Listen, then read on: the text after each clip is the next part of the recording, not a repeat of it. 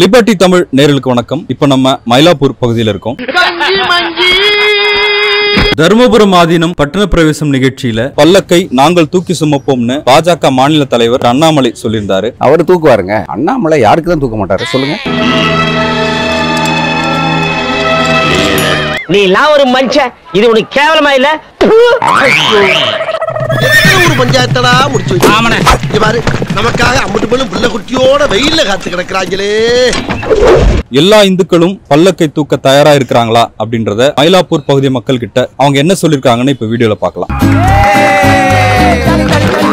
ஒரு குறிப்பிட்ட சமூகம் தான் வந்து பல்லக்கு தூக்குறதுக்காக இருக்கிறாங்க. மற்ற உயர்ந்த சமூகத்தினர் வந்து அதை பண்றது இல்ல அப்படின்ற மாதிரி சொல்றாங்க. அதை எப்படி பாக்குறீங்க? விருப்பப்பட்டவங்க தூக்குவாங்க. ஆனா இது அவங்க செய்யற விருப்பப்பட்டவங்க இருக்கும்போது எப்படி விட்டு விட்டு கொடுப்பாங்க? ஆள் சரி விவரமான பையன். நான் சொல்ல. உங்களுக்கு பல்லக்கு தூக்கணுன்ற விருப்பம் இருக்கா? அதெல்லாம் கிடையாதுங்க. அந்த எண்ணமே வரக்கூடாது. அந்த எண்ணமே வரக்கூடாது. அவன் வேற ஜாதிடா புரிஞ்சதா?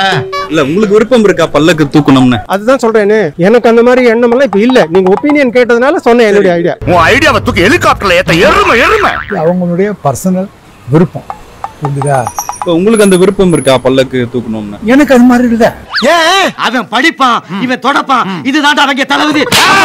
ஏன்னா ஒவ்வொருத்தருடைய மனுஷனுடைய ஒப்பீனியன் இல்லை. எனக்கு வந்து அந்த மாதிரி நம்பிக்கை இருந்ததுன்னா நான் பண்ணுவேன். எனக்கு அது மேல நம்பிக்கை. ஆனா இன்னொன்னு பார்ப்பனர்கள் என்றைக்கு பத்திரகாளி அம்மன் பெரியாண்டவருக்கெல்லாம் கவலைப்பட்டிருக்கிறார்? அவங்க பண்றது தப்புன்னு நான் சொல்ல மாட்டேன். அது மாதிரி நானும் செய்வேன்னு சொல்ல மாட்டேன்.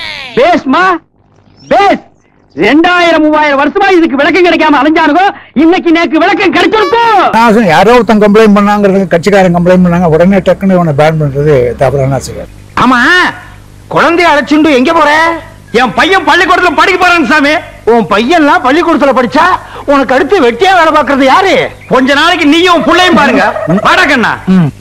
லோகம் கெட்டுடுச்சு வாடா. இல்ல இப்ப பக்தி இருக்கிறவங்க அதை அந்த பல்லக்க தூக்குறாங்க இல்லையா? இது பாருங்க எல்லாருமே பக்தி இருக்குன்னா எனக்கு ஒரு சாமி மேல பக்தி எனக்கு ஒரு ஆளு மேல பக்தி அவனை தான் நான் தூக்க வேண்டிய இன்னொருத்தனை போய் தூக்க மாட்டேன் எப்ப நாங்கெல்லாம் ஹிந்து எப்ப நாங்கெல்லாம் சூத்திரன் அப்படின்னாரு. ராமர் கோயில் கட்டணும் அப்படின்னு சொல்லுகின்ற பொழுது நாமெல்லாம் ஹிந்து. எல்லாரும் வாங்க ஹிந்துக்களே திரண்டு வாருங்கள் கோயில் கட்டலாம். எல்லாரும் திரண்டு போய் கோயில் கட்டியாச்சு. எப்ப நான் சூத்திரன்? கோயில் கட்டிட்டோம் நீ வெளியில இப்ப நான் சூத்திரன் ஆயிடுறேன். அடங்கொப்பன் தாமரபரணில தலைமுழுக. வேலி போட்டு வெள்ளாம பண்ணது ஒரு வெண்ணையப்பே. அத தனாவட்டா தின்னுட்டு போறது never. அவங்களுக்குன்னு ஒரு ஃபாலோவிங் இருக்காங்க அவங்க தான் செய்யறாங்க நீ காலை பிடிச்சு தூக்கு நான் கையை பிடிச்சு தூக்குறேன். நீ காலை பிடிச்சு நான் கையை தூக்கு ஆகாதா? இப்ப நீங்க எந்த பல்லக்கு எந்த சாமியை தூக்கு? நான் வந்து சாமியை தூக்குறது இல்லையே. எனக்கு வந்து கடவுள் இருக்காங்கிறத நம்புறேன். இன்னும் என்ன நீ பைத்தியக்காரனாவே நடிச்சிட்டு இருக்கிறல? ஆனா நான் வந்து சாமியை தான் தோல் தோல்ல தூக்கினா தான் எனக்கு மோட்சம் கிடைக்கணும்னு அது மாதிரி கிடையாது. ஆனா கடவுள் நம்பிக்கை உங்களுக்கு இருக்கு. கடவுள் நம்பிக்கை நிறைய இருக்கு. ஆனா வந்து நான் சாமியை தூக்கினா தான் எனக்கு மோட்சம் கிடைக்கணும்னு கிடையாது. இவங்க தான் பாத்தீங்கன்னா நமக்கு தேசியம் தெய்வீகம் இந்து தர்மா இந்துக்களுக்கு ஆபத்து. இந்துக்களுக்கு ஆபத்துன்னு என்னடமோ சொல்லுவாங்க. சாமி இருக்குன்ற பயம் கொஞ்சம் இருந்துச்சுன்னா இந்த மாதிரி வேலை செய்வானுங்களா? இல்ல பொதுவா பல்லக்கு தூக்குறதுன்னு இருக்கு இல்லையா? அது வந்து ஒரு குறிப்பிட்ட சமூகம் தான் தூக்குவாங்களா இல்லையா? நம்ம குறிப்பிட்ட சமூகம் குறிப்பிட்ட சமூகம் தான் தூங்க எல்லாருமே இது பண்ண முடியாது. நாங்க தான் கிடைச்சோமா? பிஞ்சு போயிரு செருப்பு. ஏன் இப்ப நீங்க அது அஹ், அது நாங்க இண்டிவிஜுவல் இது பண்ண முடியாது. எங்க டிபார்ட்மெண்ட் வேற அவங்க டிபார்ட்மெண்ட் வேற. என்னடா எதுக்கு எடுத்தாலும் பரம்பரைன்னு போட்டு உயிரை புடுங்குறீங்க? உங்களுடைய பணின்றது என்ன ஹோமம் பண்றது. கணபதி ஹோமம் நவகிர ஹோமம் இந்த கல்யாண சீமந்தம் ஆயுஷ் ஹோமம் இது பண்ணிக்கிறது இதெல்லாம் தான். ஏங்க இதெல்லாம் ஒரு தொல்லாங்க இப்ப இப்ப தூக்குறவங்க பல்லக்கு தூக்குறவங்க வந்து பக்தியோட அதை பக்தியோட தூக்கணும் பக்தியோட தூக்கணும். இப்ப இப்ப நீங்க உங்களுக்கு பக்தி இருக்குல்ல அதை நீங்க பண்ணலாம்ல? இல்ல பண்ண மாட்டேன் அவங்க தனியா அவங்க அசோசியேஷன் வச்சிருப்பாங்க. என்னெல்லாம்? நம்ம கிட்ட வந்து எப்படிலாம் கதை விடுறாங்க? இங்க இவங்க தான் வந்து நமக்கு பாடம் எடுக்கிறாங்க. அப்ப அதுல அதுல சமூக ரீதியான வேறுபாடு இருக்கா? கண்டிப்பா இருக்கு. வேறுபாடு நிறைய நிறைய இருக்கு. வேறுபாடு நிறைய இருக்கு. பாத்தியாடா அப்புறம் அவரோட என்ன பேச்சு? இப்ப அப்ப மதத்துல வேறுபாடு இருக்குன்னு கண்டிப்பா வேறுபாடு கண்டிப்பா நிறைய இருக்கு. அது இல்லைன்னு சொல்ல முடியாது கரெக்டா நிறைய இருக்கு. அது எந்த மாதிரியான வேறுபாடு? அது அது சொல்ல முடியாது. அவங்க அசோசியேஷன் தான் எங்க பிராமண சமூகம் அவங்க அசோசியேஷன் அவங்க வேறுபாடு நிறைய இருக்கு. இது நேத்து இன்னைக்கு இல்ல. காலங்காலமா தொன்று தொட்டு நடக்கக்கூடிய ஒரு சம்பவம். நான் ஒன்றும் சாதாரண ஆள் இல்ல. பார்த்தாலே தெரியுது.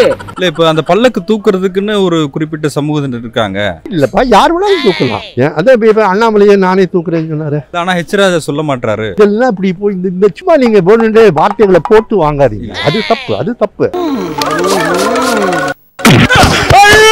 எனக்கு இஷ்டம் இருக்கு அவன் பண்றாரு அவருக்கு இஷ்டம் அவர் சொல்றாரு. நீங்க எந்த சைடு தெரியாது லெப்டா ரைட்டா அல்லது டிஎம்கே சைடான்னு தெரியாது. இதற்கு இது பதில் இல்லையே. நான் ஒன்றும் பிஜேபி காரன் கிடையாது நான் ஒன்றும் காங்கிரஸ் காரன் கிடையாது நான் டிஎம்கேயும் கிடையாது. மொச பிடிக்கிற நாய மூஞ்சிய பார்த்தே கண்டுபிடிச்சு தூக்கணும்ல நீங்க தூக்கி இருக்கீங்களா நான் தூக்கினது கிடையாது. மனசார வந்து சுவாமி அப்படியே பல்லாக்கு அப்படியே தொட்டு இருக்கேன் வெளியா வர்றது வந்து இங்க ஏன் எல்லாத்தையும் எல்லாரும் செய்யணும்னு நினைக்கிறீங்க? இப்ப நீங்க செய்யற தொழில நான் செய்ய முடியுமா? புத்திசாலித்தனம். அவங்க முடியுமே. வாய்ப்பு இருந்தா முடியும்ல. ம- வாய்ப்பு இருந்தா முடியுங்கிற சரி சுவாமி. அதுக்குன்னு பழக்க வழக்கம் இருக்கு இல்லையா? போடா. ஜனங்க ஏமாந்துருக்க நேரமா பார்த்து எதையாவது சொல்லிட்டு ஓடி சில விஷயத்தை மாத்த வேண்டியது சில விஷயத்தை மாத்த கூடாது அதை ஃபாலோ பண்ணணும் சொல்லி. சில விஷயத்தை மாத்த வேண்டியது சில விஷயத்தை மாத்த கூடாது மனிதனை மனிதன் சுமக்கிறத மாத்தணுமா வேணாம்? அது ஒருத்தர் ஒருத்தரோட பிரின்சிபல் சார்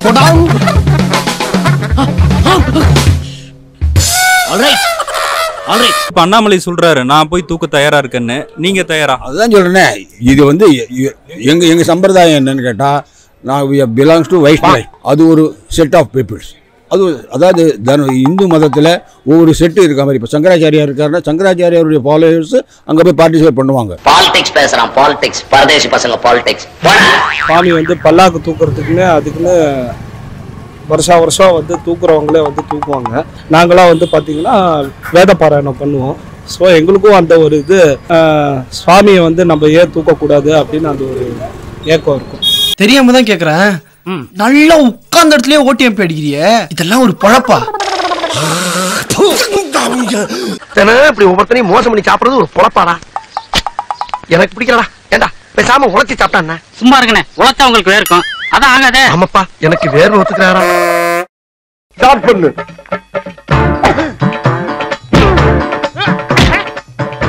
இங்கிட்டு இங்கிட்டு அப்படியா அப்படியா.